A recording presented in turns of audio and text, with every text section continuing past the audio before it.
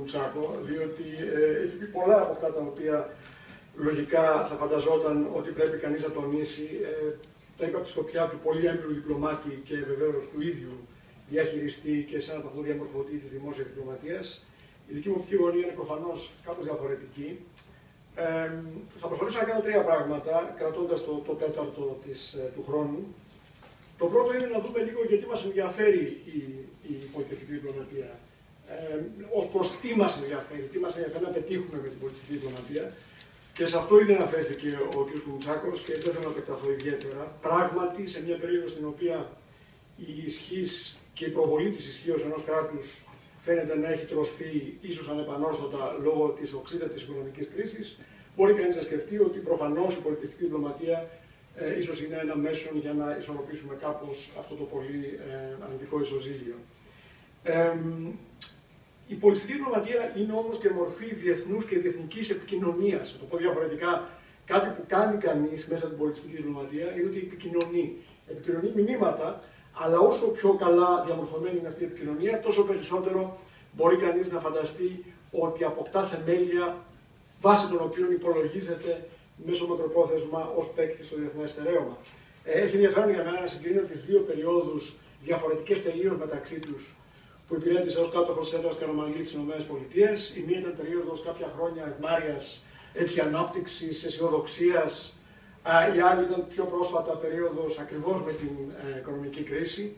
Και έβλεπε κανείς εκεί πάρα πολύ ε, ανάγλυφα το πόσο διαφορετικά ε, πράγματα τον ρωτούσαν οι δημοσιογράφοι, οι φοιτητές, οι συνάδελφοι, οι πολιτικοί και πόσο διαφορετικά έπρεπε να διαχειριστεί την εικόνα μιας Ελλάδας πριν από χρόνια ε, πολλά υποσχόμενης, ε, που σε έναν βαθμό έδινε την εικόνα μιας ήρεμης δύναμης στην, ε, στη Μεσόγειο και την εικόνα μιας Ελλάδας σταδιακά μετά το 2009, η οποία ε, φαινόταν να είναι εξαιρετικά ασθενής, να χρειάζεται βοήθεια τους εταίρους, να είναι λίγο πολύ στο έλεος των εταίρων κ.ο.κ. Και αυτό το κόντραστ, αν θέλετε, αυτή η, η διαφορά μεταξύ της μίας περίοδου που υπηρέτησε στην ένα Καραμαλή στη Βοστόνη και της άλλης περίοδου, της περίοδου της ευμάρεια και της περίοδου της κρίσης, ήταν συναρπαστική. Γιατί η διαφορά η ίδια έδινε αν θέλετε, ε, έναυσμα για να δει κανείς διαφορετικά το θέμα της, με την ευρύτατη πλέον έννοια δημόσιας και σε έναν βαθμό και πολιτιστικής διπλωματίας. Τώρα, ε, σήμερα στην, στην διεθνή συζήτηση η πολιτιστική διπλωματία ορθώς θεωρείται ως μια πάρα πολύ σημαντική ε, μορφή της διπλωματίας για τρεις διαφορετικούς λόγους νομίζω. Θα, θέλω, όπως είπα, να είμαι σχετικά σύντομος. Ο πρώτος λόγος είναι αυτός στον οποίο υπενήχθηκα ήδη, δηλαδή ότι πέρα από το ότι θες να πετύχεις στόχους, και θα επανέλθω στους στόχους, προσπαθείς να πετύχεις και την, το χτίσιμο μιας μορφής επικοινωνίας με διάρκεια.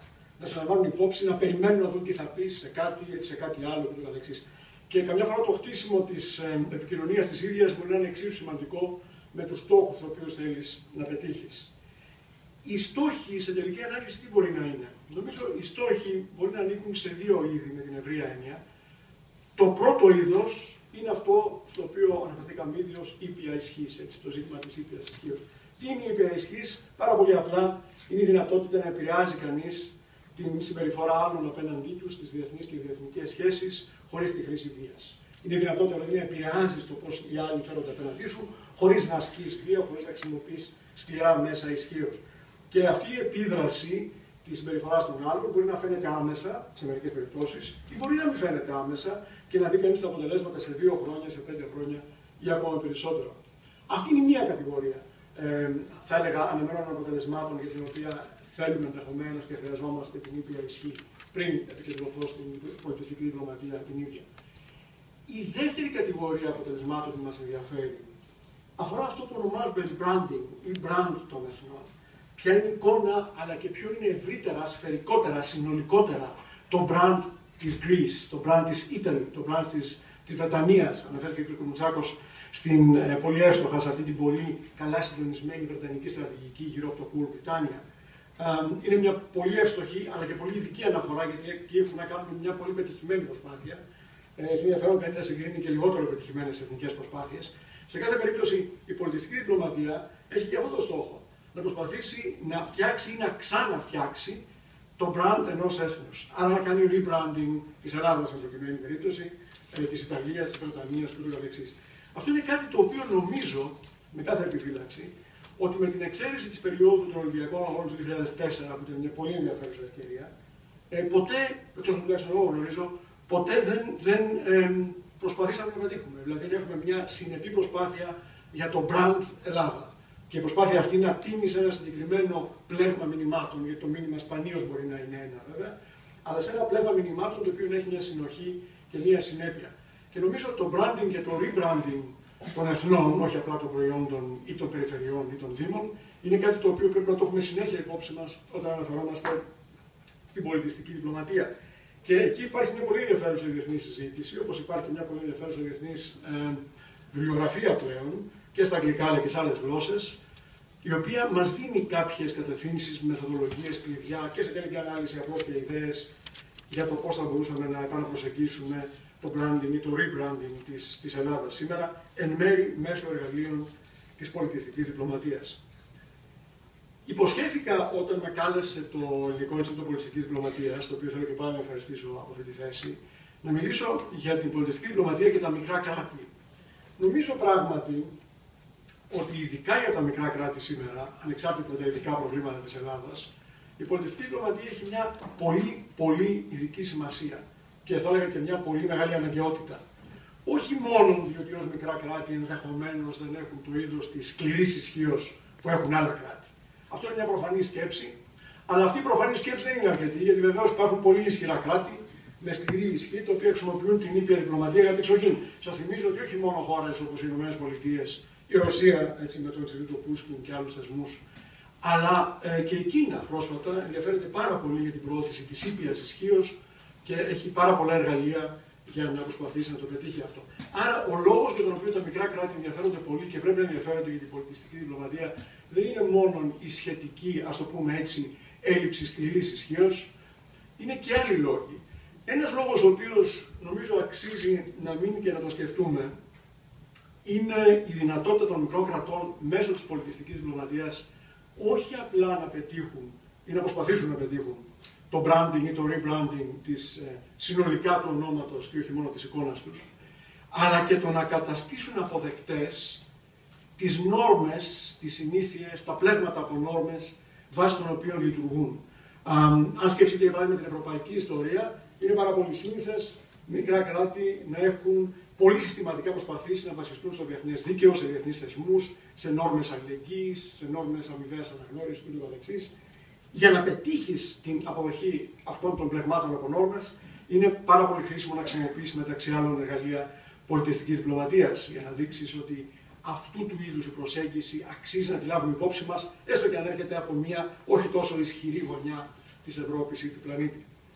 Ε, με αυτή την έννοια λοιπόν, τα μικρά κράτη έχουν με συνέπεια χρησιμοποιήσει πολλά από αυτά στην Ευρώπη την πολιτιστική διπλωματία ε, ως ενισχυτή, ως, ως προβολή εκείνων των πλεγμάτων από νόρμες, συνήθειες και ενίοτε αξίες που τα έχουν βοηθήσει να σταθούν στο διεθνές στερέωμα και να πετύχουν κάποια διάκριση.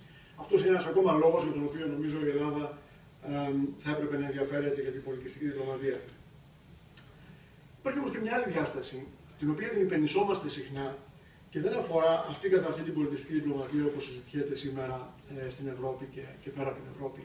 Αφορά τα διλήμματα της Ελλάδας ε, διλήμματα τα οποία φαίνονται σήμερα να, να παίρνουν σταδιακά, ευτυχώς ή δυστυχώς, και μια υπαρξιακή χρειά. Νομίζω ότι η πολιτιστική διπλωματία, αν τη δούμε πάρα πολύ σοβαρά, πάρα πολύ συστηματικά και όχι μόνο σε επίπεδο εργαλειακό, μπορεί δυνητικά να μας βοηθήσει να αντιμετωπίσουμε και μερικά από τα ζητήματα ταυτότητας. Γιατί το θέμα δεν είναι μόνο τι προβάλλουμε ως Ελλάδα με συνέπεια, τρομερά σημαντικό θέμα, το θέμα τελικώς είναι να καταλήξουμε και το τι είναι αυτό που σήμερα εννοούμε ως Ελλάδα και θέλουμε να το, προλα... να το προβάλλουμε με κάποια συνέπεια. Και νομίζω ότι καλώς ή κακώς είμαστε σε μια συγκυρία, ίσως ενδεχομένως σε ένα σταυροδρόμι, στην οποία, ε, επαναλαμβάνω καλώς ή κακώς, πρέπει να προβληματιστούμε και για αυτό. Τι είναι αυτό που θέλουμε να προβάλλουμε ως Ελλάδα και τελικώς τι είναι αυτό το οποίο πιστεύουμε ότι είναι η Ελλάδα σήμερα. Ε, είναι μια πολυπολιτισμική κοινωνία, είναι μια κοινωνία η οποία θέλει να προβάλλει μια εικόνα ήπιας ισχύως και ήρεμης δύναμης στη Μεσόγειο. Είναι μια κοινωνία η οποία θα μπορούσε να χρησιμοποιηθεί ως μοντέλο μιας δυναμικής ε, επαναφοράς μετά από μια οξύτατη οικονομική και κοινωνική κρίση. Είναι, είναι, είναι πολλά τα ερωτήματα και νομίζω ότι πολλοί από εμάς σε την αίθουσα έχουμε εξίσου πολλές απαντήσεις. Δηλαδή, υποθέτω ότι στο ερώτημα τι είναι για εσά η Ελλάδα σήμερα και τι είδους προβολή πρέπει να κάνουμε αυτού του brand, θα έχουμε εδώ μέσα σε την αίθουσα πολλές, ίσως δεκάδες διαφορετικές, όχι πάντα συγκλίνουσες, νομίζω, ε, απαντήσεις. Οπότε θα έλεγα ότι κατά ένα πολύ ενδιαφέροντα τρόπο η πολιτιστική διπλωματία εκτός από εργαλείο, που σίγουρα είναι και είναι πάρα πολύ σημαντικό, μπορεί να είναι και ένα πεδίο για να ξανασκεφτούμε αυτά τα ζητήματα. Να είναι δηλαδή αφορμή, θα έλεγα, για να ξαναδούμε τα υπαρξιακά ζητήματα και τα ζητήματα ταυτότητας, τα οποία δεν είναι μόνο θέματα πολιτικής κουλτούρας, πώς προσεγγίζουμε την πολιτική, τους πολιτικούς κλπ. Αλλά είναι και θέματα ε, βαθύτερων ερωτημάτων για την ελληνικότητα και τη θέση της Ελλάδας σε μία, νομίζω και ελπίζω, ε, ενοποιούμενη ε, Ευρώπη. θέλω να κλείσω με τρεις σκέψεις, κρατώντας την υπόσχεσή μου για το τέταρτο, που άλλωστε προβλέπεται και στο πρόγραμμα, με τρεις σκέψεις σε σχέση με τις δυνατότητες της πολιτιστικής διπλωματίας σήμερα για μια χώρα όπως η Ελλάδα. Τι δηλαδή μια χώρα όπως η Ελλάδα, μια χώρα η οποία είναι μια μικρή ευρωπαϊκή χώρα με αρκετά ε, σημαντική έτσι, συμβολική και ήπια ισχύ ήδη, υφίσταται ως εικόνα και υφίσταται σε γενικές γραμμές θετικά, δεν υπάρχει ευκολία γι' αυτό, η οποία όμως έχει μια πολύ σημαντική ε, στρατιωτική παρουσία την οποία δεν αναδεικνύει επαρκώ και η οποία επίσης παίζει ένα πολύ σημαντικό ρόλο στο πλαίσιο του, του ΝΑΤΟ. Τρει λοιπόν γρήγορε σκέψεις για αυτή την Ελλάδα.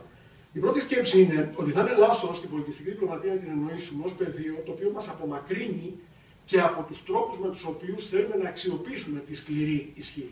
Να το πω αυτό λίγο πιο αναλυτικά για να μην παρεξηγηθώ. Όντως, η πολιτιστική διπλωματία ανήκει στο πεδίο της ήπιας ισχύως. Προφανές. Όμως, η πολιτιστική διπλωματία, ειδικά και η ήπια ισχύς γενικότερα, μπορεί και πρέπει να προσπαθεί να αξιοποιήσει και το ρόλο μιας χώρας, τον ειρηνικό τονίζω ρόλο μιας χώρας, στα πλαίσια ενός πλέγματος το οποίο προβάλλει και συμμαχίες, ισορροπίες, κατευθύνσεις, στρατηγικές στηρίσει ισχύως. Αναφέρομαι στον ΝΑΤΟ βεβαίως. Ε, η εικόνα της Ελλάδας, το branding και το rebranding στο οποίο αναφέρθηκα προηγουμένως, στην οποία η πολιτιστική διπλωματία έχει να παίξει τεράστιους ρόλους, θα πρέπει να συμπεριλάβει πέρα από τα, αν θέλετε, κρίσιμα που αφορούν την τέχνη, που αφορούν τον πολιτισμό, που αφορούν τον καθημερινό μόχθο, που αφορούν την εντυμότητα πολλών Ελλήνων. Έχω βαρεθεί να ακούω τη διαφθορά στην Ελλάδα. Πρέπει να αρχίσουμε να τονίζουμε προς τα έξω έτσι, και το μόχθο των Ελλήνων που ε, προσπαθούν και πετυχαίνουν πράγματα σε πολύ δύσκολες συνθήκες. Όλα αυτά είναι πάρα πολύ κρίσιμα. Επίσης είναι κρίσιμο ότι η Ελλάδα είναι μια χώρα η οποία σε ειρηνικές συνθήκες ξοδεύει πάρα πολλά για την άμυνά της, συμβάλλει στο ΝΑΤΟ και αυτό είναι κάτι το οποίο πρέπει και στο πλαίσιο της ήπιας προβολής της ισχύως μας να το χρησιμοποιήσουμε, να το αξιοποιήσουμε, να το εργαλειοποιήσουμε πλήρως. Είναι αστείο, επιτρέψτε την έκφραση, να λέμε στις συνομιλητές μας στις ΗΠΑ στην Ευρώπη, ξοδεύουμε πολλά χρήματα για την άμυνα διότι φοβόμαστε τους Τούρκους. Το λέω προκλητικά, αλλά το λέω προκλητικά γιατί πρέπει να καταλάβουμε τι εννοώ είναι πάρα πολύ σημαντικό αυτή την επένδυση στην άμυνα να την αξιοποιήσουμε και διαφορετικά. Πιο διπλωματικά, ευρύτερα και θα έλεγα πιο, ε, πιο εντός εισαγωγικών έξυπνα, αν θέλετε. Η δεύτερη παρατήρησή μου αφορά τη λεγόμενη υψηλή κουλτούρα. Κατά την ταπεινή γνώμη είναι ατυχέστατο ότι έχουμε ταυτίσει λίγο την προβολή της ελληνικότητας στον πολιτισμό με πετυχημένες, δεν επιθυμώ να, να παρεξηγηθώ, πετυχημένες, άξιες, πείτε ό,τι άλλο θέλετε, θα συμφωνήσω και θα προσυπογράψω, μορφές λαϊκής κουλτούρας. Βεβαίως υπάρχει αυτό. Αλλά υπάρχει ένας Μητρόπουλος, υπάρχει ένας Καλκότα, υπάρχει ενώ υπήρχε ένας Βάρβογλης, μια Κάλλας. Υπάρχουν άνθρωποι οι οποίοι έπαιξαν σημαντικούς ρόλους στο πλαίσιο της λεγόμενης υψηλής κουλτούρας και οι οποίοι δεν αναδεικνύονται όσο πρέπει. Θυμάμαι, ήμουν στην, ε, στη Βοστόνη όταν πέθανε ο Μακαρίτης ο Παρίδης, ο πολύ σημαντικός αρχιμουσικός, και είδαμε έκπληξη ότι καμία ελληνική εφημερίδα, καμία που τονίζω, δεν είχε ένα αφιέρωμα στον Παρίδη ο οποίος έπαιξε κρίσιμους ρόλους για να ξανασταθεί στα πόδια της εθνικής λυρικής σκηνής σε δύσκολες περιόδους κτλ. Άρα η δεύτερη επισήμανσή μου, τελείως διαφορετική από την πρώτη, είναι βεβαίως είναι η Ελλάδα με το σιρτάκι, βεβαίως είναι η Ελλάδα με όλα τα γνωστά, αλλά είναι και η Ελλάδα του Βάρβογλη, είναι η Ελλάδα του Καλομήρη, είναι η Ελλάδα του Ξκαλκότα και πολλών άλλων, έτσι, του Μητρόπουλου. Και αυτό πρέπει πάρα πολύ πιο ενεργητικά να το προβάλλουμε. Ε, το οποίο με φέρνει και στην τρίτη και τελευταία υποσημείωσή μου, Νομίζω ότι είναι πάρα πολύ χρήσιμο σε αυτή την περίοδο να αρχίσει κανείς με τρόπο εξωστρεφή και πάρα πολύ πιο αισιόδοξο να τονίζει ε, περιπτώσεις επιτυχίας όχι με την έννοια κλισέ, αν θέλετε, ότι αυτή η μικρή επιχείρηση τα πήγε καλά, που είναι πολύ ευχάριστο, ή αυτός ο νέος ε, μπόρεσε και μπήκε ξέρω εγώ, στο MIT, που είναι επίσης πολύ ευχάριστο και ως απόφυτος το βλέπω και ακόμα πιο ευχάριστο για τους νέους ε, αμογάλακτους του μέλλοντος συναδέλφους. αλλά και περιπτώσεις επιτυχίας του καθημερινού μόχθου. Και πάλι αυτή η παρατήρηση είναι διαφορετική από τη δεύτερη και από την πρώτη. Πρέπει λίγο να λάβουμε υπόψη μας ότι παρά τα όσα λέμε για τη διαφορά, για την άνομο της άκρας αριστεράς, για τον λαϊκισμό της άκρας δεξιάς, πήγα να πω, αλλά ίσως λάψου φροηδικό, ε, για την άνομο των άκρων, εν πάση περιπτώσει, για τον λαϊκισμό και για όλα αυτά. Σε κάθε περίπτωση πρέπει να τονίσουμε επίσης ότι με τα δεδομένα τα οικονομικά, πολλοί Έλληνες παρέμειναν ξεκάθαρα μέσα στο πλαίσιο των αξιών και των πλεγμάτων από νόρμες που θεωρούμε ότι καθορίζουν μέσα άκρες τις δυτικές δημοκρατίες. Αυτό είναι σημαντικό. να το πω διαφορετικά και ως αναλυτής στη συγκριτική πολιτική ανάλυση θα σας έλεγα ότι με τα δεδομένα θα μπορούσαμε να πηγαίνουμε πολύ πολύ χειρότερα πολιτικά.